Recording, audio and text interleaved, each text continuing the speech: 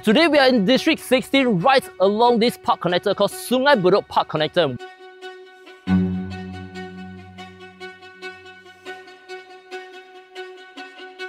Most of the time, landed homes at the back of the house, they will be facing towards another back of the house. And this is a very unique type of situation whereby you have great privacy as well as great opening towards this water body.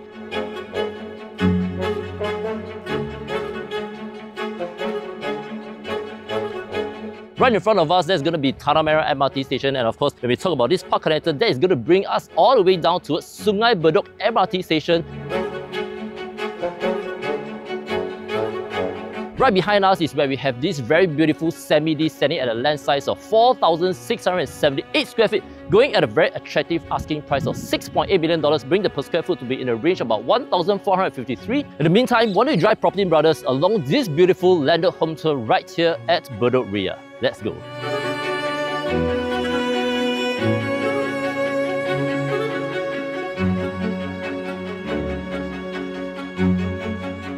This is right along Bedok Ria Crescent and just right in front there with Bedok Road. In terms of the distance towards the main road, you're not too far away, yet at the same time you enjoy the peace and serenity of this location. You have the Tanah Merah MRT station just right up front, so it's just a short walking distance towards the MRT station enclave. Right behind us, this is where you have this very beautiful plot. In terms of the entire plot dimension, we are standing at 10 meters width. In terms of the depth, that is standing at about 43 meters deep. So I would say in terms of the overall land size, this is considered something that is very big because at 4,000 1,678 square feet, this is almost the land size of a detached. And of course, if let's say you're someone that we should buy into at least a semi-D status, yet you want to enjoy the land size because if you're buying into a detached, of course, you have to set aside the setback at both the left and right, and that will eat up into the space. On the other hand, if let's say you're someone that wants to have the land size, but yet you want to have a bigger built-up space or the internal, then of course, this land plot will suit you very well.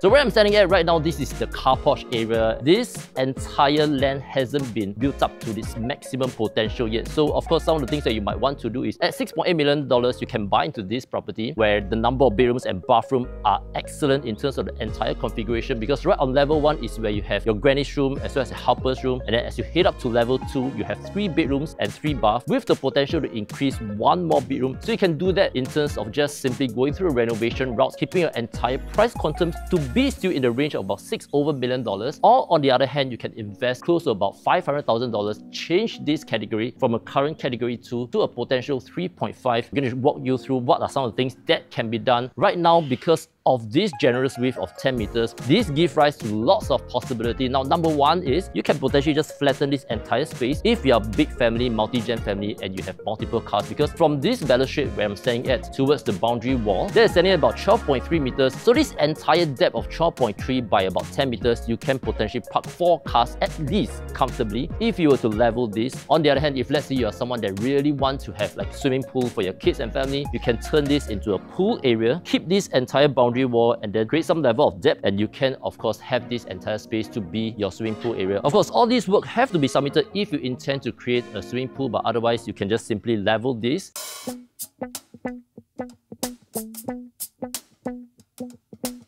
going to walk around the exterior first. And if you notice, because of the generous land size of 4678 square feet, most of the time when you exhibit this kind of characteristics of a semi-D, you do not need to keep to its 2 meters setback, which is a requirement. So what the owners have done is they have created a very good space in terms of the outdoor pavement as well as garden space. So overall feel of this entire house isn't something that's claustrophobic. So you have this very nice patio area that is adjoined to the dining space as we walk towards the back. That will be the opening that you get. So majority of the landed homes are back-to-back -back facing due to characteristics of a landed zoning. Whereas if let's say you are someone that prefers maximum privacy, is either towards a park facing, which is very rare, or towards a park connector, which is overlooking across this water body. So I would say in terms of light source for this semi-D, this comes in from various angles from the back as well as the side.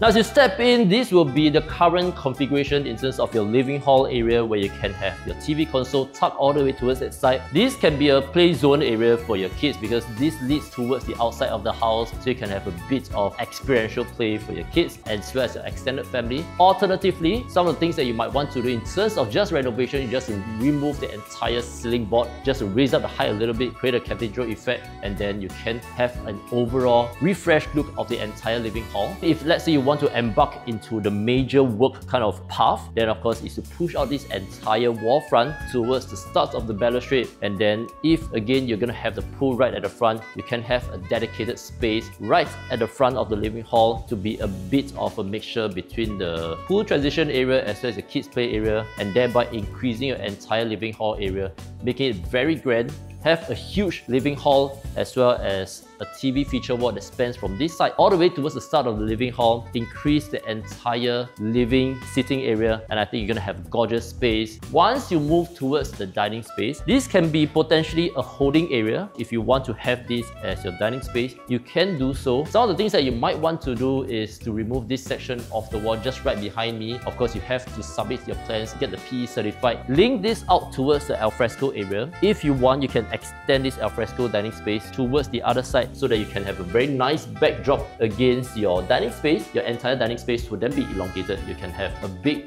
round table or you can have a long rectangle table. This will then be a great connecting area between the living area as well as the kitchen.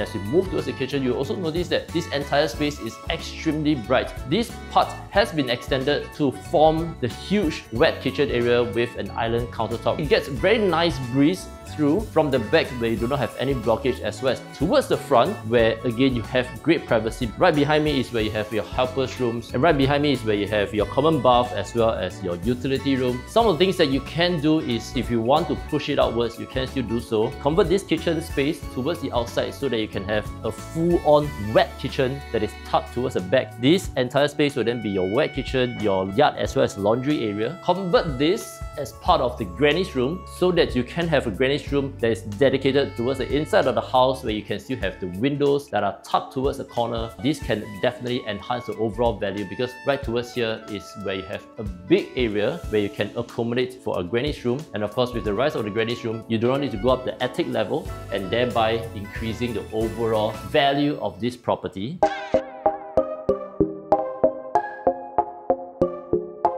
So just to recap, we are selling at 4,678 square feet with an asking price of $6.8 million. That brings the PSF to about 1,453. Buyers are buying into District 16 is also because the price movement in District 15, a PSF of close to about 1,006 to 1,007, about a million dollars of the price disparity. So for buyers that want to get great value in terms of PSF, then they will want to be looking towards the District 16 because of the Bayshore Plan government land sale will be opening up in the period of about November 2024 towards Sungei Bedok MRT station, the new shopping mall at Bedok South MRT station. That's going to be integrated. So that entire area, when it transforms, it will definitely have a very positive impact in terms of the landed segment right around here. And that is exactly what is happening in District 15. And that entire space helps to push up the prices. I would say you still get to enjoy a very first mover advantage entering at a PSF of about 1,400 odd dollars rate. $6.8 million, you're buying to a huge land plot, enjoy a great uplifting in terms of the overall quantum appreciation appreciation. Spend about half a million, push out the living hall as well as some of the works that are up on the second level and you can increase the category from a current category 2 to a category 3 or 3.5 which will also allow you to have a very comfortable exit. You still have schools that are within the 1 km radius and you're gonna have great longevity of stay. Use this as a multi-gen kind of house concept. Once the valuation goes up, you can either take an equity term loan, put it into some other form of investment product and use this to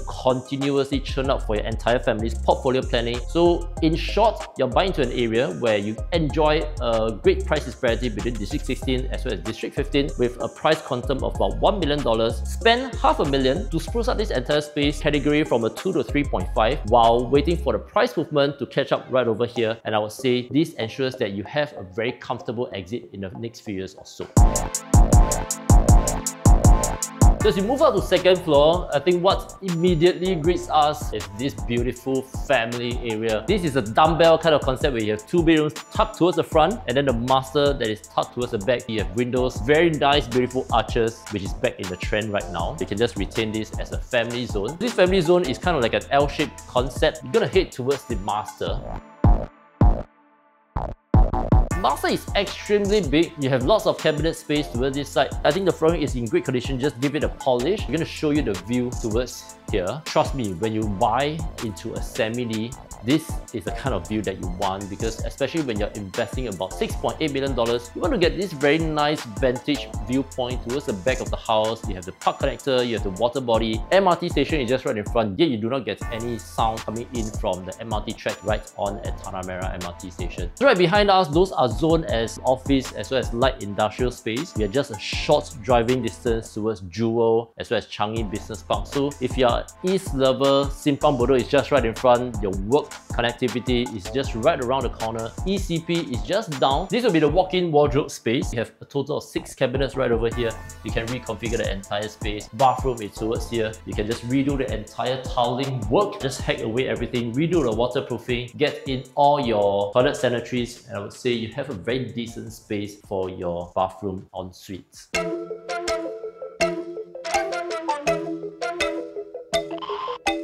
As you head towards the common bedroom, now this comes with own ensuite and of course you have this very nice ceiling height. So again, if you want to kind of redo up the space, do feel free to come by. We'll be happy to share with you what are some of the things that can be done. All this false ceiling can still be pushed up because of the pitch roof that is right above. So you can choose to just remove this entire false ceiling, showcase the entire shape of roof pitch. I think you're gonna have a very nice cathedral effect in this bedroom. Junior ensuite is just right over here. So you're gonna have a very nice ensuite space. So you can use this as your junior master, standing shower, WC as well as basin are all done up. Just need to uh, refresh them up and then you get a brand new configuration. As we head back towards the family zone,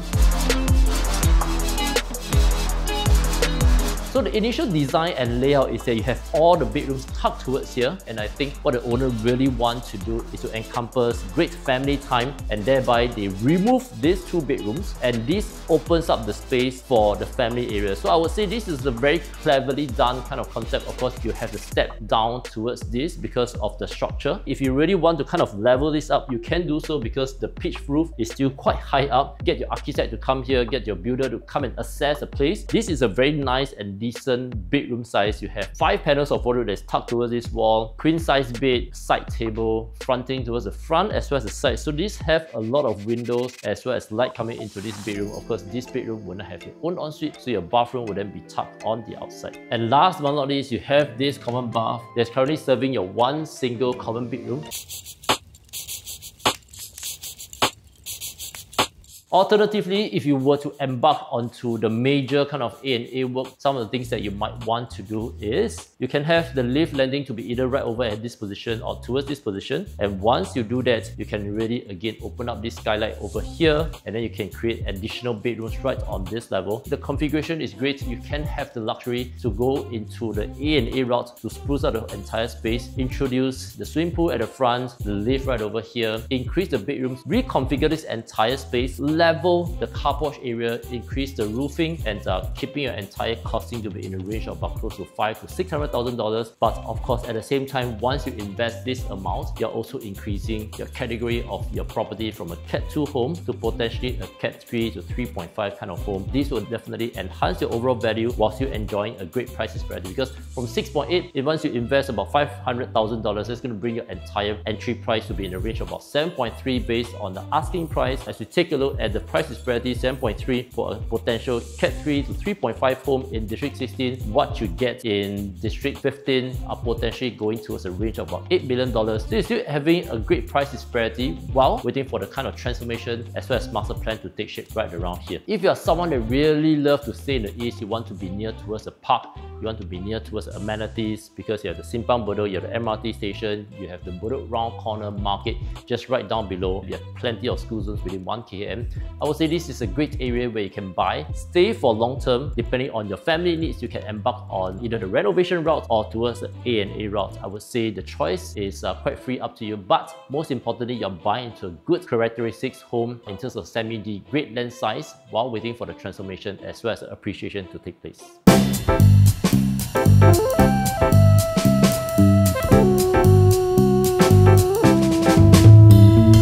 Alright, so we've come to the end of this beautiful landed home tour right here in District 16. Just to give you a quick recap, this is standing at a very generous land size of 4,678 square feet. Plot width is 10 meters, plot depth is about 43 meters. Great land plot for you to reconfigure again to your own needs. Set in an area with lots of transformation, connectivity, Tanah Merah MRT station, as well as a future Thomson East Coast line, as well as the entire Bayshore plan. Best thing of all is you're getting into a first mover advantage buying to an area where you enjoy great price disparity in terms of the PSF from 1,004 to 1,006 to 1,700 in District 15 as well as a very healthy price quantum disparity of close to about a million dollars, able to allow you to invest close to about $500,000 to spruce up the space to increase the category from a Cat 2 to a potential Cat 3.5. If you like what you see, do feel free to get in touch with our listing team. Contact details are down below. Subscribe to our various channels on Facebook, YouTube, Instagram, TikTok, Xiaohongshu. My name is George Peng from Property Brothers. Always happy to show you the place. Right here at at where? At Bedok Ria. Let's go. 哎，不要不要不要拍这里，这个罗邦啊，这这边比较好看。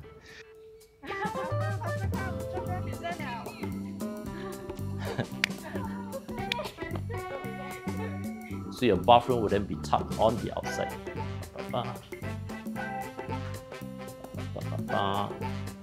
Then 还有什么现在没有讲吗 ？Great value in terms of land size as well as PSF。对对对，小心啊！